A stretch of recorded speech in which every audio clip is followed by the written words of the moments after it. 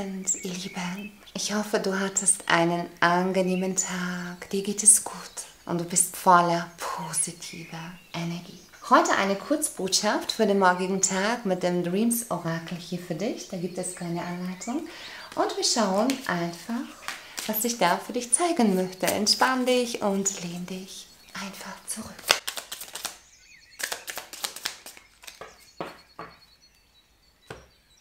Haben für dich die Familie. Erkunde dein heiliges Wurzelzentrum, beinhaltet die Karte. Deine Wurzel, der Ahnen, mit all dem, wo du zu allem in der Verbundenheit stehst. Mit vollster Kraft, Power und Energie. Der Heiligtum der Ahnen.